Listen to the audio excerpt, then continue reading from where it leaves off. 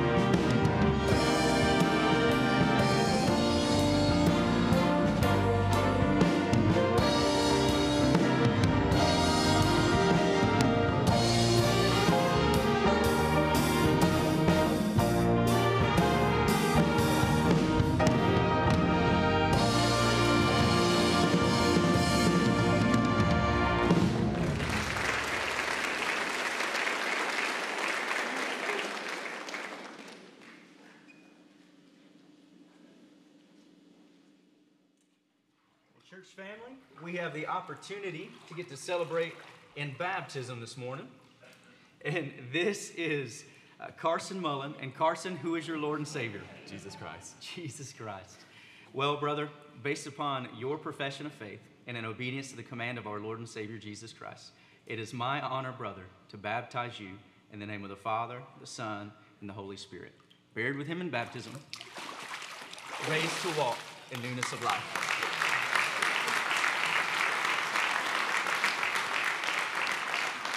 Father, we thank you so much for the opportunity to get to see people move from death to life and make that profession public.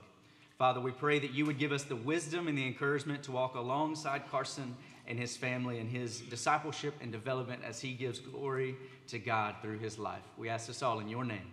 Amen. Amen. It is so good to see you here today in the house of the Lord. Thankful, always great way to start our service with baptism. Amen. Such a wonderful expression of worship. Thankful our pastor's back with us this morning in the pulpit. Praise God from whom all blessings flow. Amen. If you're a guest, you're joining us today for the first or second or third time, we just want to say welcome. We're thankful you're here, thankful you're worshiping with us. There's a little connect card right there in the back of your chair. If you take that, fill that out, you can drop it in the offering plate or you can take it to our welcome desk at the back at the conclusion of the service. We'd love to have record of your visit with us. But won't you stand this morning, shake some hands, and greet those around you. Welcome this morning to the services here.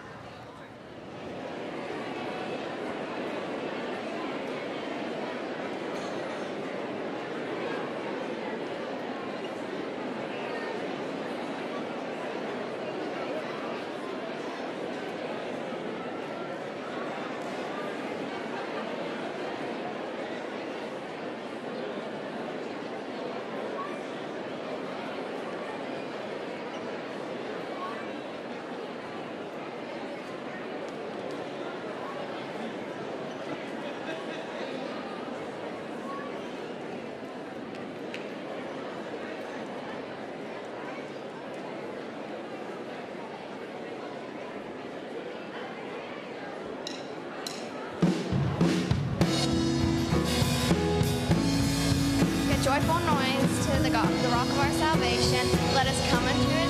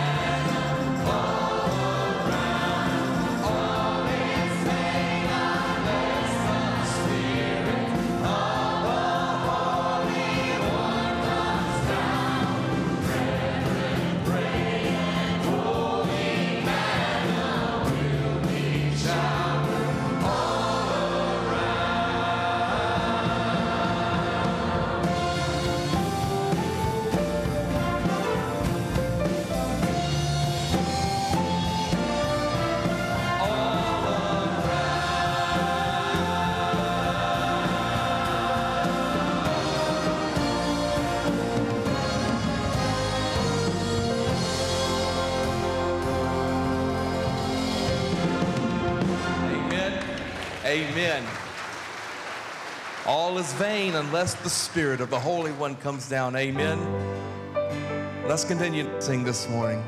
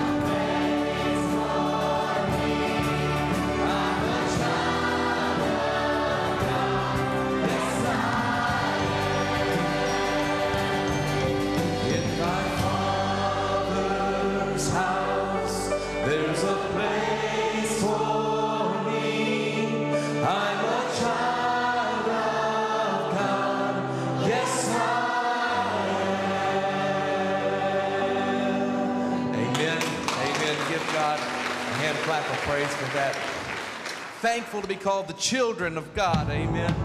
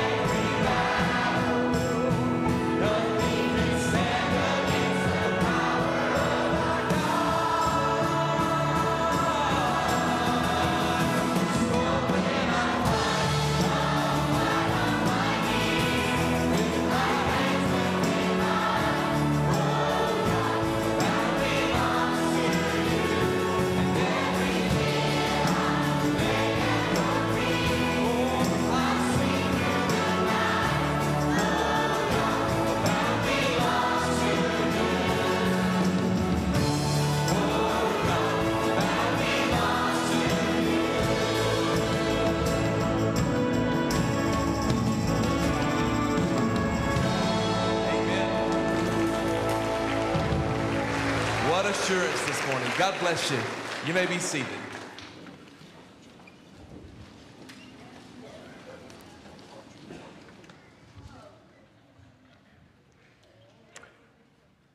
To God be the glory.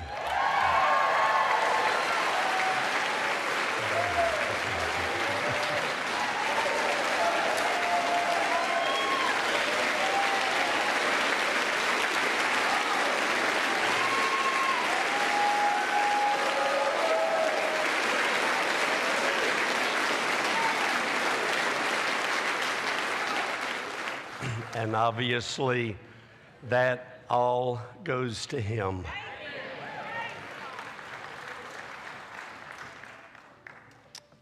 The battle belongs to Him.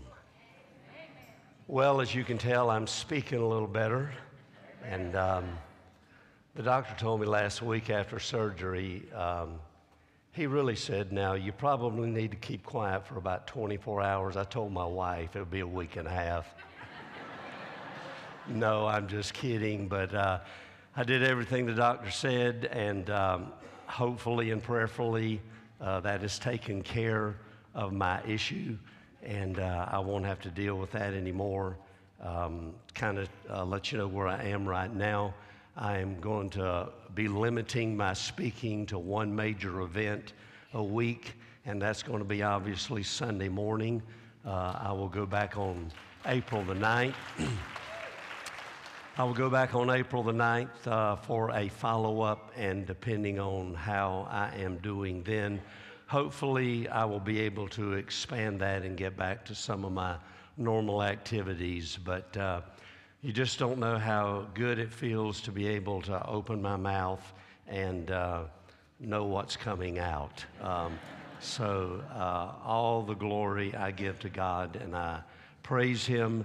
Uh, it's been a journey for eight months, but uh, I think we're seeing some light at the end of the tunnel, and so I praise the Lord for that.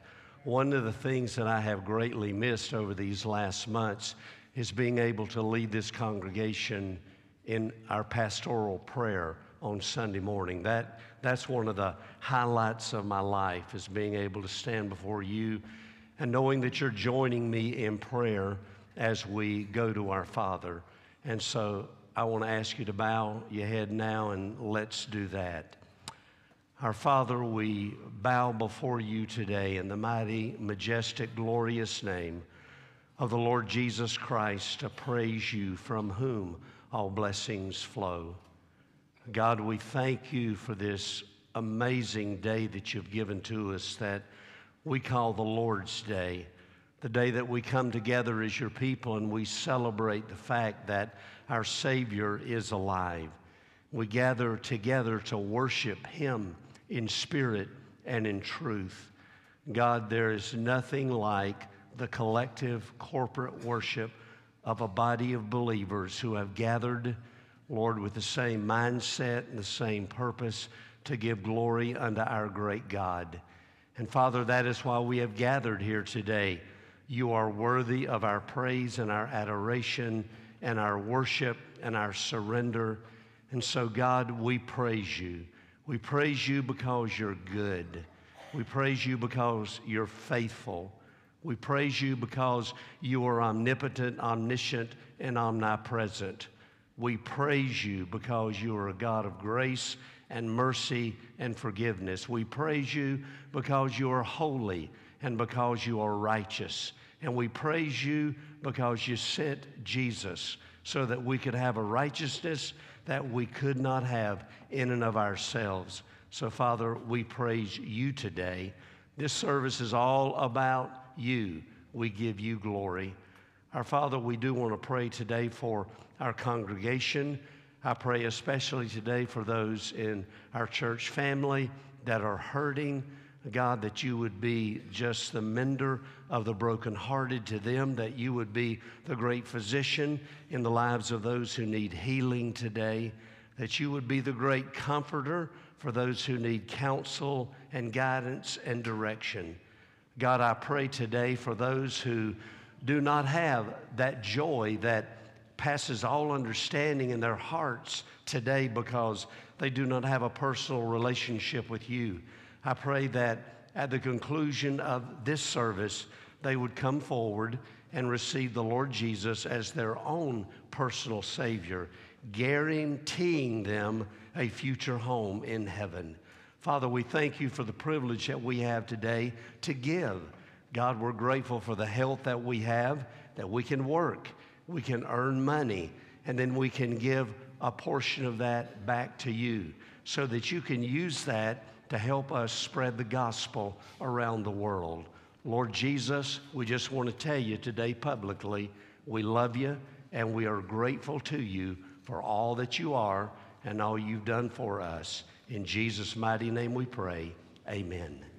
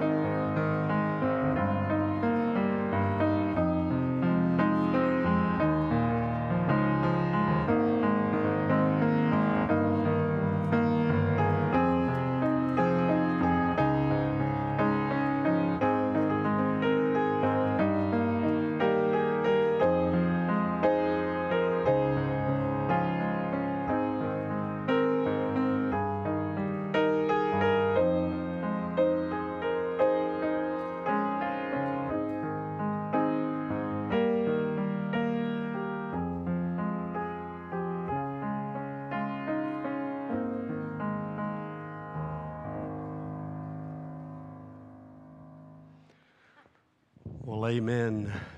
Praise the Lord for the children and the youth and the adult choir and orchestra. An amazing job today, and we certainly appreciate that. I want to invite you to open your Bibles today with me to the book of Exodus, find chapter number one. Exodus chapter number one, and I want to ask you, what do you think of when you hear the name Moses? Maybe when you hear the name Moses, you think about that great film, The Ten Commandments, and that famous actor Charlton Heston, or maybe you think about that animated film, The Prince of Egypt, and uh, uh, the chariot races with Ramses. Or maybe if your mind has been influenced by the Bible, when you hear the name Moses, maybe you think about you know, tabernacles in the wilderness, or you think about painful plagues, or you think about a guy that, uh, that was given the name the lawgiver. But when, when I hear that name Moses, I think about what is the title of a new series that I want to start today. The title of that series is Moses, God's Mighty Man. And the reason that I think about that title, God's Mighty Man, is because the way that the Bible describes Moses and speaks about him. In Deuteronomy chapter 34 and verse 10, the Bible says, But since then there has not arisen in Israel a prophet like Moses, whom the Lord knew face to face. Think about that. What an incredible description of a human being, a man that the Lord knew face to face. Moses was a man that walked with God and talked with God to the degree that in a, the book of Exodus, chapter 33 and verse number 11, the Bible says that God spoke to Moses face to face as a friend would speak to another friend. I do not believe that there is another leader in Israel's history that had the experience with God like Moses did. Exodus chapter 34 and verse 29, the Bible says that when Moses went up on the mountain and he was communing with God, that when he came back down, that his face literally lit up like the noonday sun. And it was shining to such a degree where the Bible says that he had to put a veil over his face in order for the people to be able, to be able to even communicate with him. And so, with that in mind, the question is why in the world would we even want to study the life of a man that obviously lived and walked on a plane much higher than we do? And I think it's because that just like us, Moses was a mere man. Moses was not the God man who was perfect in all of his ways. Moses was a man that, in spite of that amazing experience with God, he was a man that had failures. He was a man that made mistakes. He was a man that committed sin. He was a man that recovered. And I really do believe that we can learn a lot of lessons in our living by looking at the life of Moses. But if we're going to do that over these next weeks or months or however long it takes, we're going to have to start at the beginning. So today I want to talk about the beginning of Moses, Exodus chapter 1, and we will read together verses 1 through 14. The Bible says, Now these are the names of the children of Israel who came to Egypt, each man and his household came with Jacob. There was Reuben and Simeon, Levi and Judah, Issachar, Zebulun, and Benjamin. There was Dan, Naphtali, Gad, Asher, and all these were descendants of Jacob. There were 70 persons. For Joseph was in Egypt already when they came. And Joseph died, and all of his brothers, and all that generation. But the children of Israel were fruitful and increased abundantly. They multiplied and grew exceedingly mighty, and the land was filled with them. Now there arose a new king over Egypt who did not know Joseph. And he said to his people, Look, the people of the children of Israel are more and mightier than we. So come, let us deal shrewdly with them, lest they multiply. And it happened in the event of war that they also join our enemies and they fight against us, and so go up out of the land. And therefore, they set taskmasters over them to afflict them with their burdens.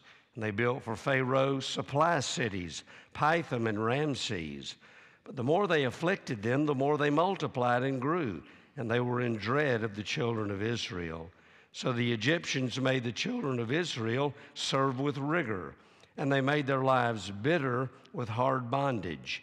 They made it bitter in mortar and brick and in all manner of service in the field. And all their service in which they made them serve, it was with rigor. Now, the beginning of Moses is tied to the nation of Israel. And apart from an understanding of that, we can't understand the life of Moses. And Israel was connected to my first point I want to look at, and that is a painful past. If we don't understand that painful past, we will have no clue about why it was that God sent Moses in the first place. So let's talk a little bit about that painful past. Really believe that when baby Moses opened his eyes in the land of Egypt, he opened his eyes and he looked upon a Hebrew people that were indeed a hurting people. And to understand that, that painful past, we have to understand a little bit about the place of Joseph in the scheme of all of this. And that is what verses 1 through 6, what these verses are all about. We will not understand the life of Moses without understanding the place of Joseph in God sending Moses to be the deliverer and the emancipator of the nation of Israel who was in Egypt at this time. As a matter of fact, I think that we could safely say that the story of Moses' life is really just a continuation of the story of the life of Joseph. So we've got to put those two things together. Now, the question is, first of all, well, who was Joseph? Well, we know that Joseph was one of the 12 sons of Jacob. And we know that Joseph was hated by his brothers. As a matter of fact, he was so hated by his brothers until his brothers came up with a plot and they had planned on killing him. They changed that up a little bit and decided they would just sell him to a group of Midianites who were on their way to Egypt, and that is the way that Joseph ended up in Egypt. Every time I think about that, I think about the fact that, you know, I was born and raised in a dysfunctional family to a degree until I got hooked up with my grandparents. But you talking about a dysfunctional family, there's never been one like this. I mean, this guy's own brothers wanted to kill him.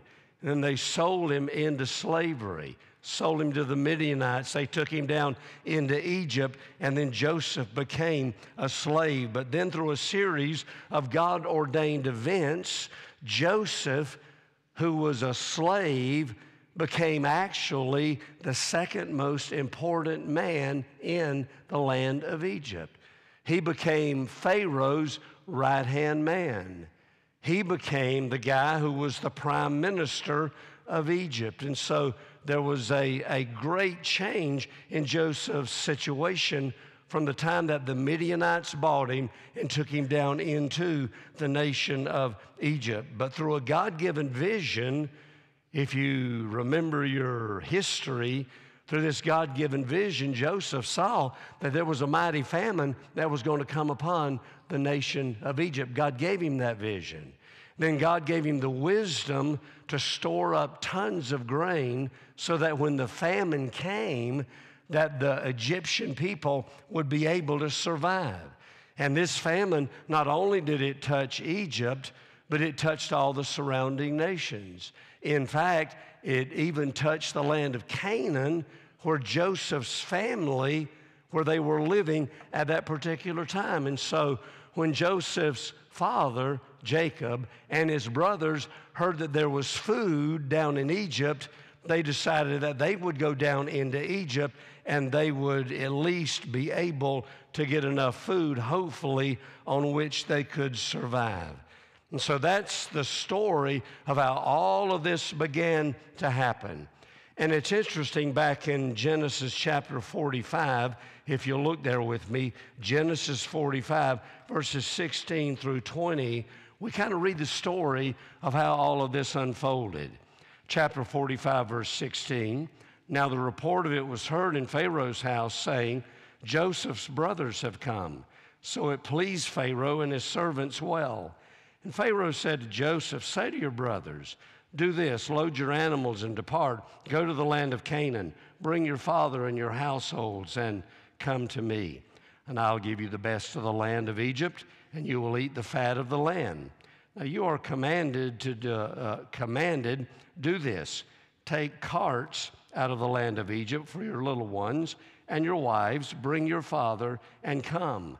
Also, do not be concerned about your goods, for the best of all of the land of Egypt is yours. Now, listen, because of the respect that Joseph had in the land of Egypt, because of the approval and the favor of Pharaoh upon Joseph's life, he was able to bring his family, which consisted at that time of 70 people, down into the land of Egypt.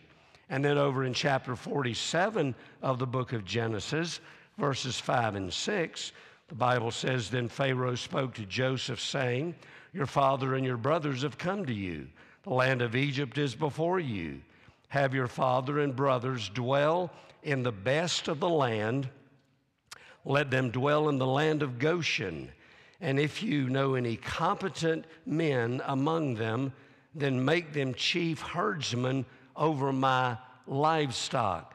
And so that's how the Jewish people ended up in Egypt, who years later they would need a deliverer and God would provide for them Moses who would meet that need.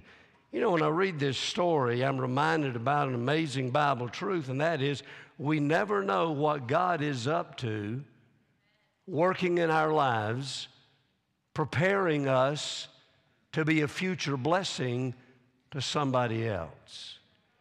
Now, if you would have looked at Joseph's life when he was thrown into prison, and going through all of those negative circumstances, you had no idea what God was up to. But through all of what appeared to be bad, God was up to something good where He was going to bless others at a later date. So we see this painful past, the place of Joseph, but secondly, the proliferation of the Jews.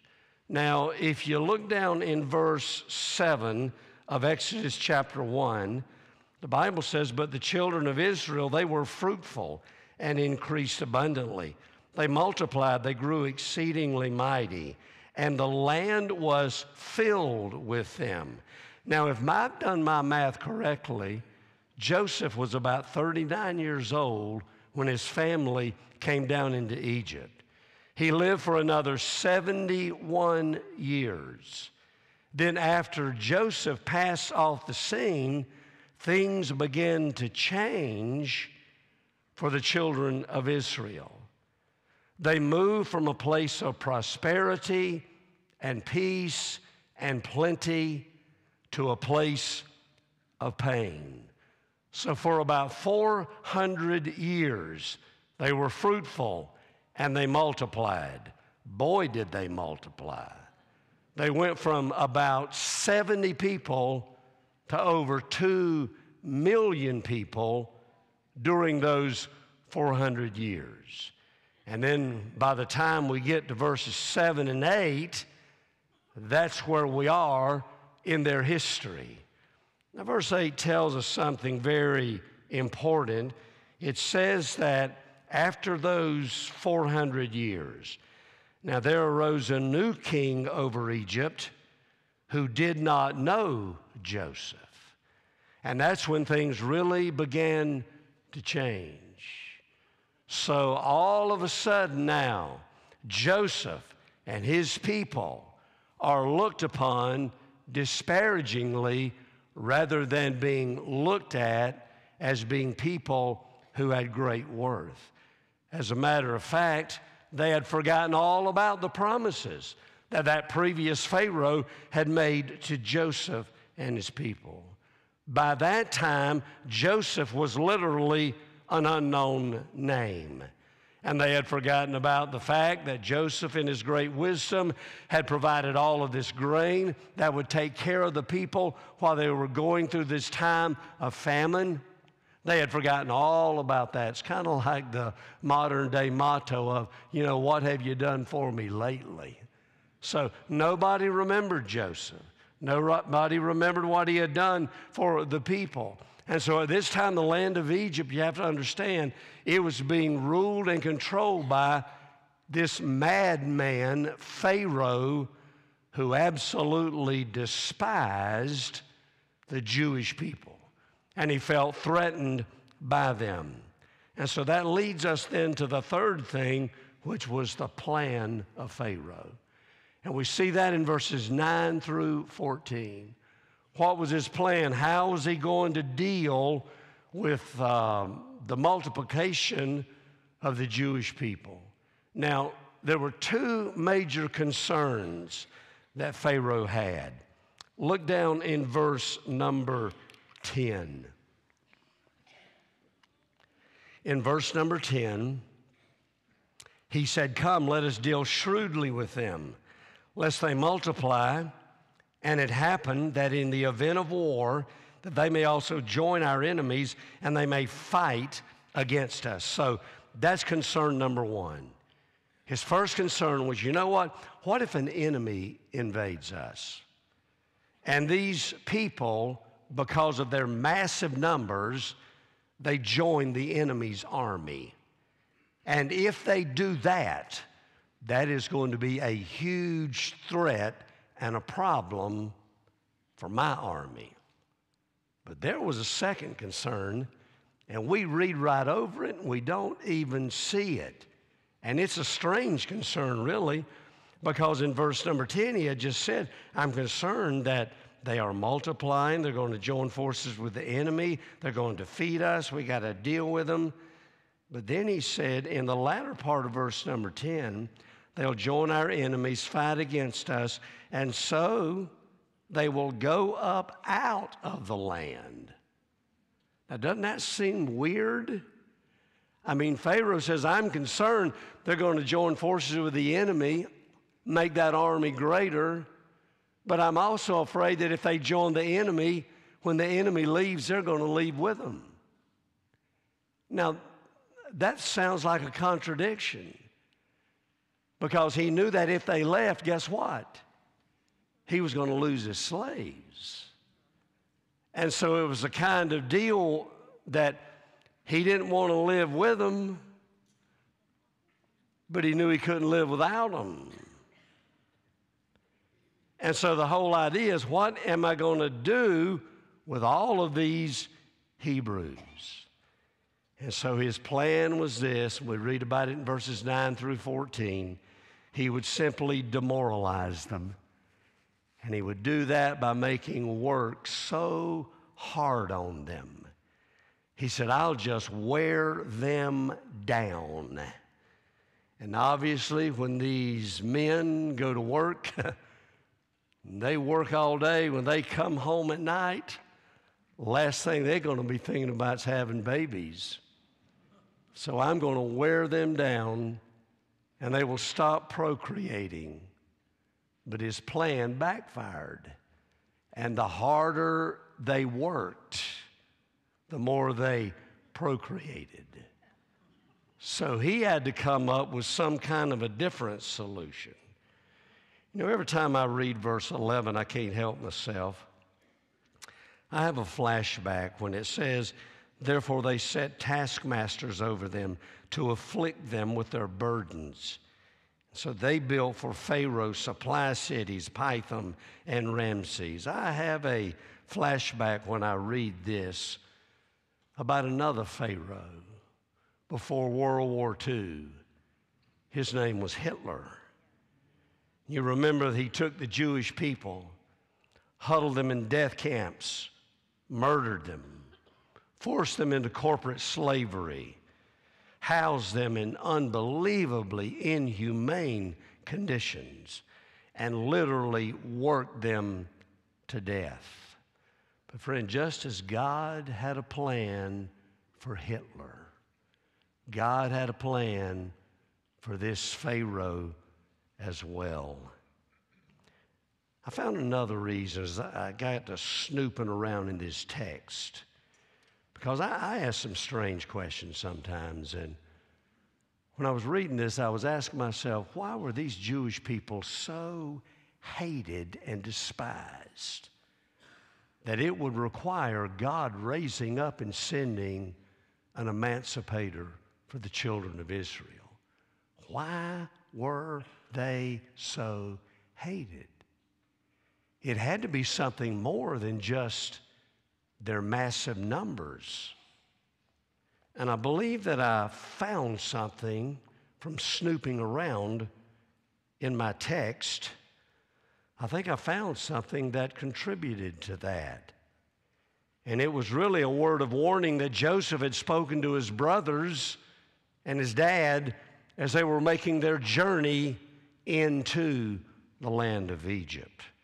He gave them a specific warning of something that was relative to Egyptian culture. If you go back to Genesis chapter 46, go there with me. Genesis 46 and verse number 31.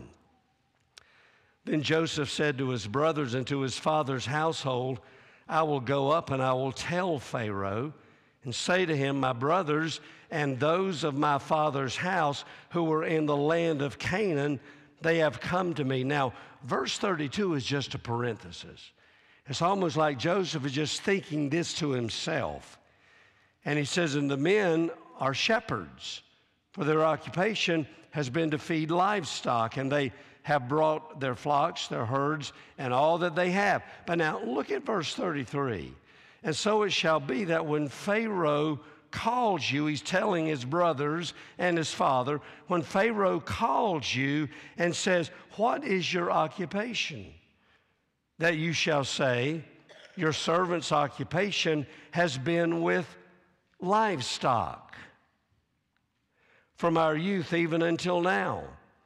Both we and also our fathers, that you may dwell in the land of Goshen Mark this for every shepherd is an abomination to the Egyptians. They were shepherds. What did Joseph tell them? He said, Whatever you do, don't you tell Pharaoh that you are shepherds, because shepherds are loathsome in the land of Egypt. At this particular point in Bible history, we have to understand that the Egyptian culture was the cream of the crop. And its citizens were expected, you might say, to display a certain level of sophistication. So, educationally, economically, culturally, they were the hobnobs of society. Shepherds were not like that. The last thing that they wanted was for some shepherds to be imported into their culture and ruin their cultural image. Who was Pharaoh? He was in the cattle business. Jacob's boys were in the sheep business. And those two occupations would clash. Now, we read right over that and completely miss it. And I think I'll show you in just a moment, Joseph's brothers missed it as well. You know, it'd be kind of like the old days of the West, the clash between the ranchers and the free grazers. It would be kind of like that kind of clash in what we would see here. And so Joseph said, Please, whatever you do, don't tell Pharaoh that you are shepherds. Keep it on the down low. But evidently, they didn't listen. Because over in the book of Exodus, chapter 10, when we get in the middle of the plagues that we will be looking at in a while, Exodus chapter 10, verse 24, then Pharaoh called to Moses and said, Go serve the Lord, only let your flocks and herds be kept back. they continued to practice their op- occupation. And could it be that that was one of the reasons why they were so despised and why they were so hated? I believe it was. But now we're going to we're, we're about to get to the good stuff. Know you say time's about gone, but no, it's not. We're we're about to get to the good stuff. Because here we see that they were in trouble with a capital T. And my question is, and here is our application what did they do? That leads us to our fourth point, and that's the plea of the Hebrews. What did they do when they found themselves between a rock and a hard place? More importantly, what do we do when we find ourselves between a rock and a hard place? What did they do when they faced this insurmountable object? More importantly, what do we do when we face an insurmountable object? What did they do when they found themselves living in the no hope capital of the world? And the greater question is what do we do when we find ourselves living there? I'll tell you exactly what they did they cried out to God. Exodus chapter 2, verse 23. Now it happened in the process of time that the king of Egypt died. Then the children of Israel groaned because of the bondage, and they cried out. And their cry came up to God because of their bondage. Friend, crying out to God is not our last resort, it's our first option. What did they do? They cried out to God. What did God do? Exodus 2, verse 24. So God heard their groaning. God remembered his covenant with Abraham, with Isaac, and with Jacob. God remembered a promise that he had made to them. God's eyes were upon them. God saw them. God realized where they were. And God remembered, God remembered a promise he had made to them many years ago, way back yonder in the book of Genesis, with the calling of Abram. God made a promise to Abram about his descendants. That promise is found in Genesis 15 verses 13 and 14. Then he, that is God, said to Abram, Know certainly that your descendants will be strangers in a land that is not theirs, and will serve them. And they will afflict them 400 years. And also the nation whom they serve I will judge. And afterward they shall come out with great possessions. That was a promise, that was a prophecy given to Abram about his descendants. Now, friends, think about that. God told Abram his descendants were going to grow great in numbers, and they did. God told him they were going to enter a land where they were not born, and they did. God told Abram they would be afflicted and enslaved, and they were. God told Abram it would not be that way forever, and it wasn't. After several hundred years, God said that they would be delivered. There would be an exodus. the book that we are looking at. A deliverer would come. He would be handpicked by the living God, and his name would be Moses. Friends, this was a prophecy. This was not God reacting, this was God acting. Because did you know God never reacts? God acts. He is so powerful and so awesome and so wonderful. He acts by speaking the end from the beginning. So he's giving them this amazing promise here.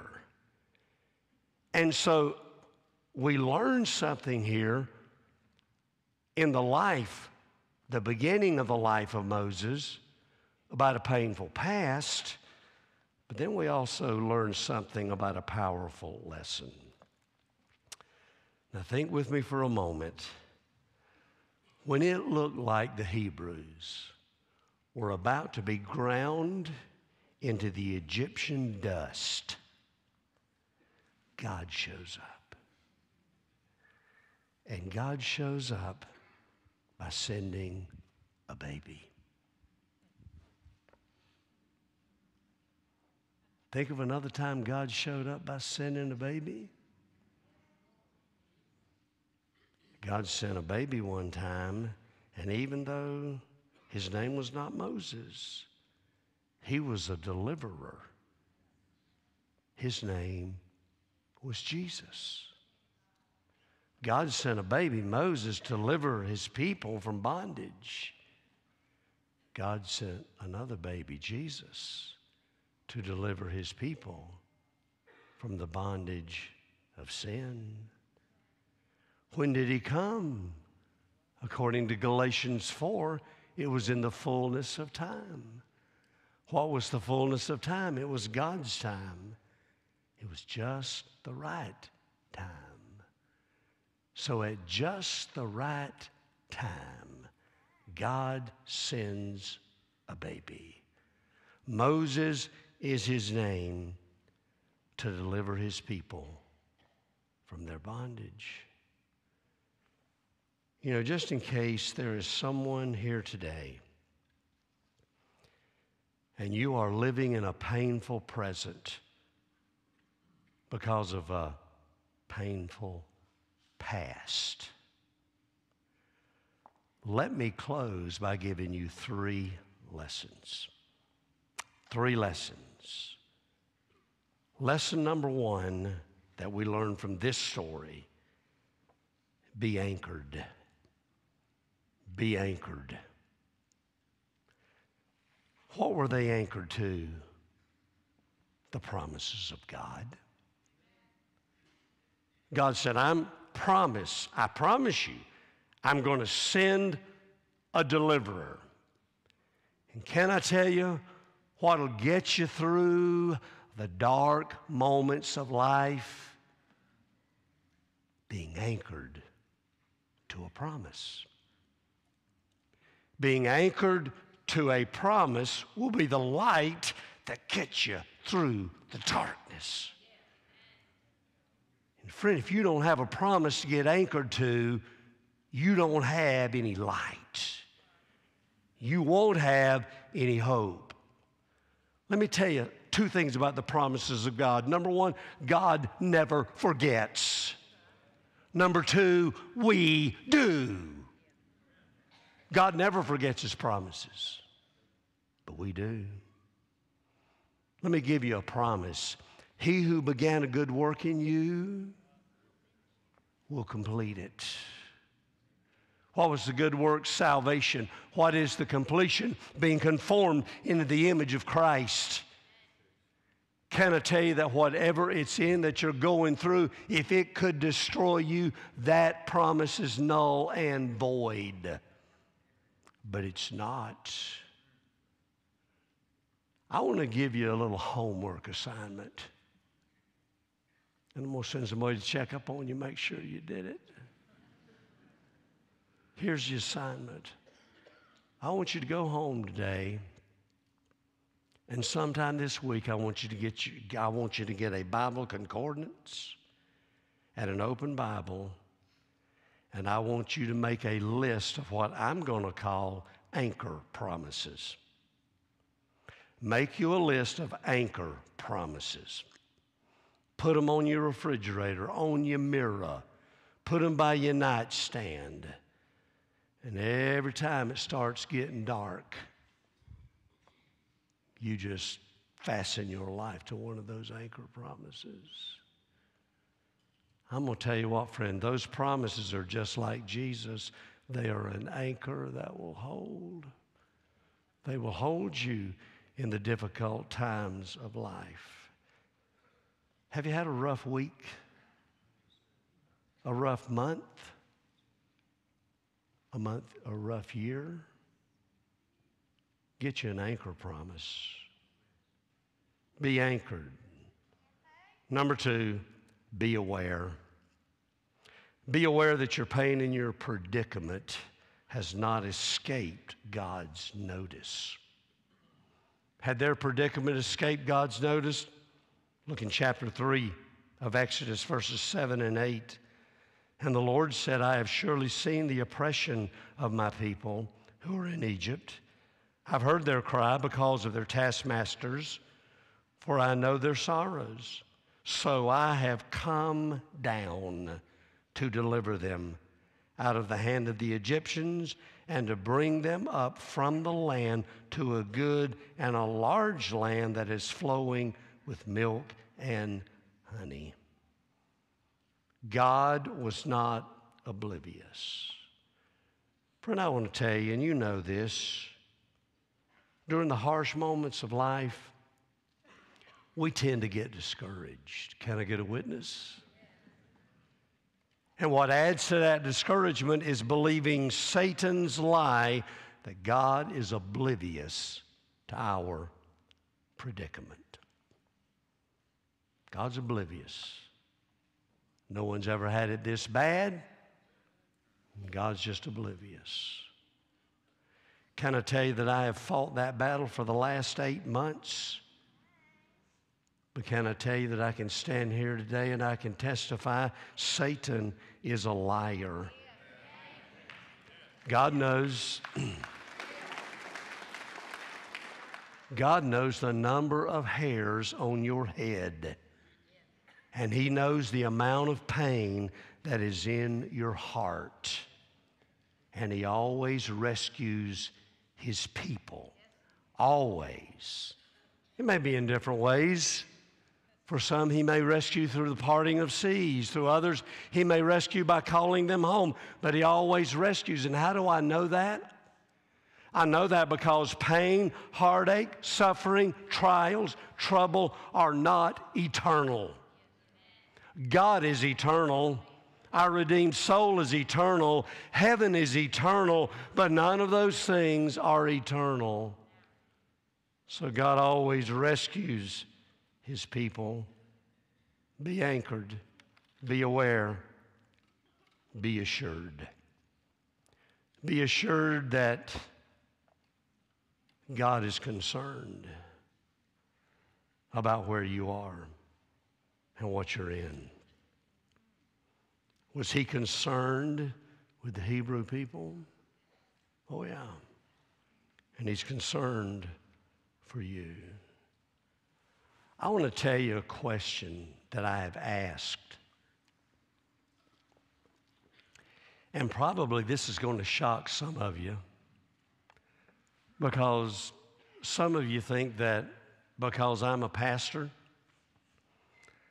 I live in this ivory tower I walk on water. I'm as fast as a speeding locomotive. I never struggle. My wife was in a place of business the other day, and she was talking to the proprietor, and the owner of the business said, Well, tell me, has, has your husband gotten discouraged waiting for his voice to get better. And she said, Oh, yeah, he's gotten very discouraged about it. And a lady who had been eavesdropping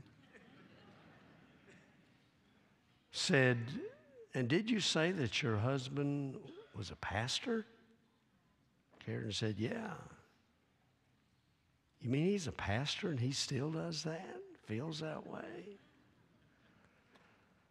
Oh, thankfully, the Lord restrained my wife.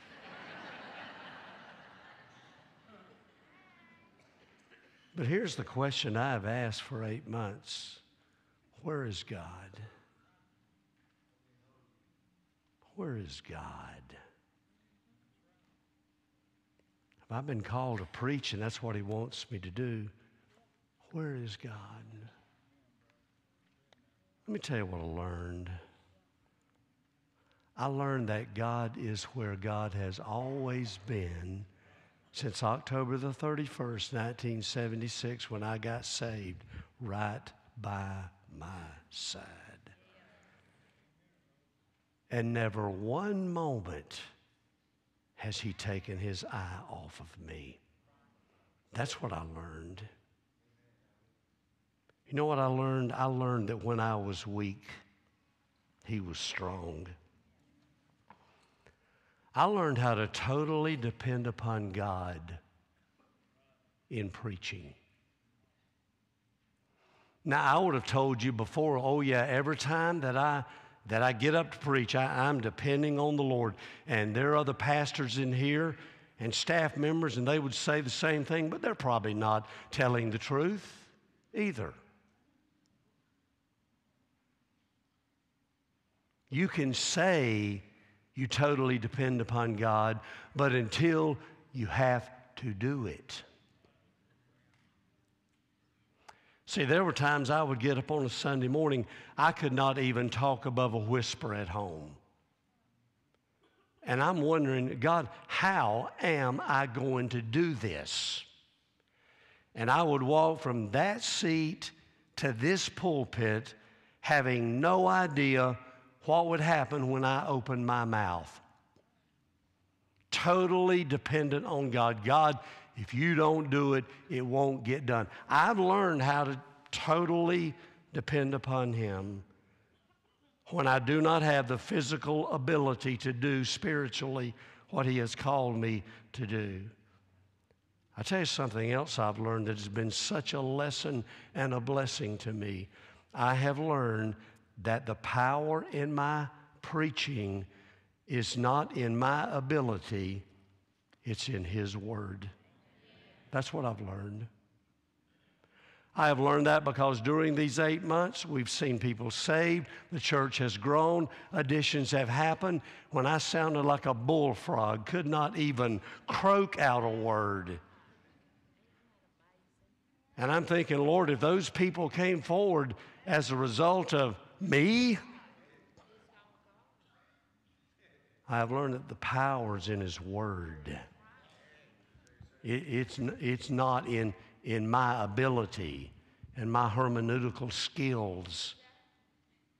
The power is in His Word. And I've learned how to draw near unto Him, how to really draw near unto God. James says, Draw near unto me, and I will draw near unto you. The great Hudson Taylor said, It doesn't matter how great the pressure is. What really matters is where the pressure lies. Whether it comes between you and God or presses you nearer to his heart. Boy, that's good. Eat on that one for a while. I've learned how to allow the pressure to just press me in closer to Him. You know, saved people have a tremendous advantage over unsaved people in difficult times. It's because saved people have God. Unsaved people do not. Do you have God today? How do you have God? You have God through a personal relationship with Jesus Christ by repenting and turning from your sin, putting your faith in Him, trusting Him to be your Savior and to be your Lord. So I have no idea if this sermon's meant anything to you or not. But I'm telling you, the one thing I want you to walk away with, the lesson we learn, God's got your back. He really does have your back. You can trust Him. Would you stand, please? Heads are bowed and eyes closed, no one looking around. Our ministers are coming. They will be down front to receive you, to pray with you, to pray for you. If you're here today and you need a church home, God's directed you here, you come. If you're here today, you need a Savior, you want to be saved, you come. We'll help you explain that to you. You're here today, you want to pray. The altar is open for you. But Father, we bless your holy name. You are worthy. God, we glorify you. Thank you now for the opportunity that we have to respond to your word. Holy Spirit, I pray that you would do what only you can do in this place today. Glorify Jesus. In his name we do pray. Heads are bowed and eyes closed.